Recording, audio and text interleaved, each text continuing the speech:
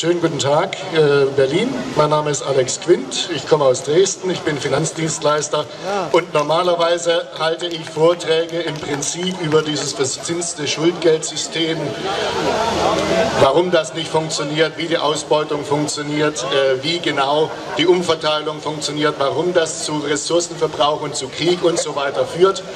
Und ich dachte eigentlich, dass ich heute hier nur Gast bin, aber ich wollte jetzt unbedingt nach diesen ähm, Detailberichten von dem Herrn Hallo, doch ein paar Worte sagen. Ähm, ich freue mich erstmal, dass ich viele Freunde hier äh, kenne, beziehungsweise äh, noch mehr kennen mich. Äh, wenn das Mikrofon stört, dann hier einfach das andere holen. Okay, wir schauen mal. Wichtig war mir jetzt noch eins, und dieser Zusammenhang zwischen diesen kriegerischen Voraussetzungen und dieses Geldsystems mal versuchen jetzt ganz kurz darzustellen. So, mit dem neuen Mikrofon ist auch nicht viel besser. Genaues bei, bei eingeschenkt TV über zwei Stunden und 20 Minuten im Internet zu sehen, ganz im Detail. Okay. Ich muss hier stehen bleiben, sagt er. Gut. Okay, okay, Ante Antenne. okay, passt auf. Diese ganze Kriegstreiberei, die wir hier erleben, die hat natürlich ursprünglich sehr wohl mit diesem Finanzsystem zu tun.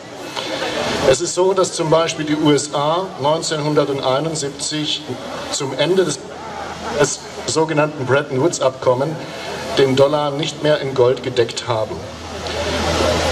Das war letztlich Betrug und genau als nächstes wurde der Dollar im Prinzip gedeckt, das nennt sich dann Petrodollar, mit fremden Rohstoffen. Also auf gut Deutsch wurden die OPEC, die erdölexportierenden äh, durch die USA militärisch geschützt.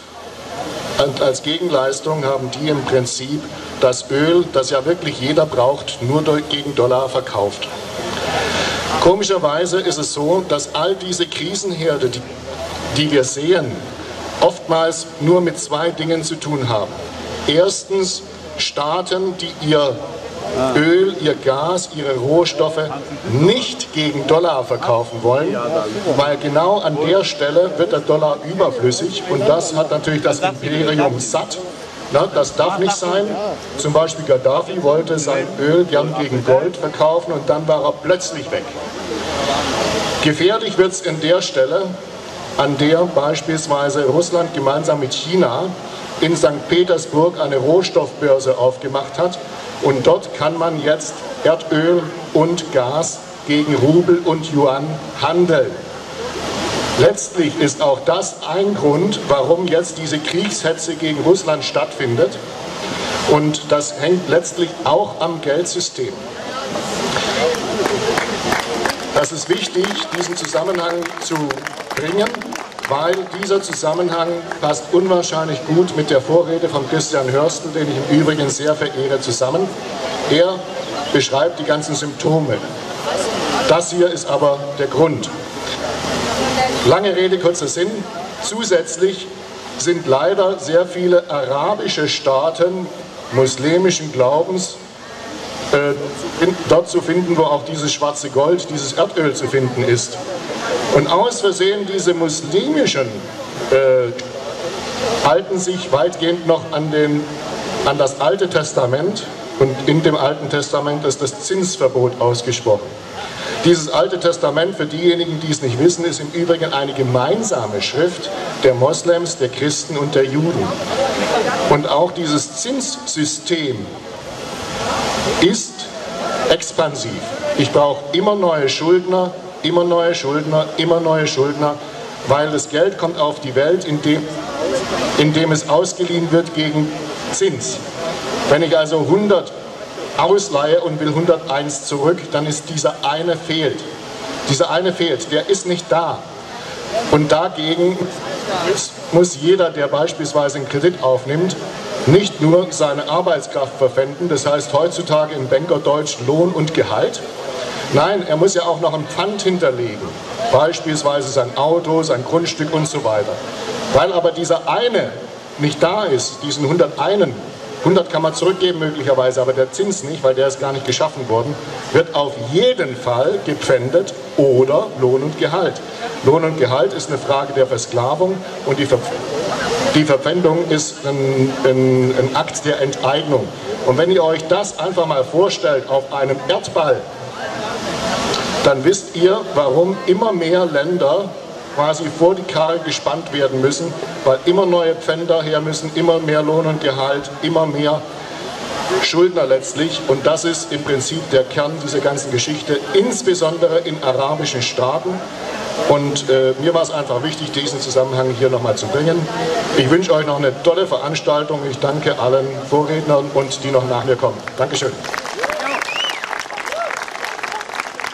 eigenen äh, Mitteln finanziert sozusagen und ziemlich verausgabt auch. Und ich wollte hier die Spendenbox vorstellen. Wer kann, kann gerne uns äh, eine kleine Spende zukommen lassen. Ab 5 Euro geben wir auch gerne einen unserer super bunten äh, Friedensfusion-Anhänger dazu. Und ja, ich werde gleich mal eine Runde gehen. Wer äh, was spenden kann, der kommt am besten auf mich zu und äh, gibt ein bisschen was dazu. Und nochmal ein riesen Dankeschön, dass ihr heute alle hier seid. Der Grund, warum wir uns hier versammeln, wir sind alles Menschen auf diesem Planeten Erde. Es ist ein blauer Planet, der sich um den Feuerball und ähm, es ist durch unsere Entwicklung, technische, äh, technische Entwicklung und überhaupt ist es unausweichlich, dass wir auf eine Globalisierung zusteuern. Und jetzt gerade entscheidet sich, ob diese Globalisierung im Sinne der Menschheit verläuft oder im Sinne der Hochfinanz und im Sinne von den Kräften, die schon immer äh, die Fäden gezogen haben hier. Und die wollen jetzt äh, halt ihre Vormachtstellung richtig ausarbeiten. Und wenn wir uns nicht äh, zusammentun und denen zeigen, dass wir eigene Ideen haben für unsere Zukunft, dann stellen die uns die Ideen. Genauso wie wenn wir einkaufen gehen oder sonst was. Ja, wir überall gesagt, was wir, was wir zu kaufen haben. Die, ja, man denkt immer, man hat die freie Entscheidung und so, aber im Wesentlichen ist alles so stark manipuliert durch Werbung, Medien und und und, die in den Händen der Hochfinanz sind. Und äh, quasi man sagt uns, was, man, was wir kaufen sollen und die wollen uns jetzt sagen, wie die Zukunft werden soll. Und dafür wird halt auch diese ganze Terror und ganzen Kriege installiert. Und wenn wir uns nicht zusammenraffen und denen zeigen, dass wir das nicht wollen, dann ja, wird es vielleicht bald ein bisschen negativ ausgehen für viele Menschen.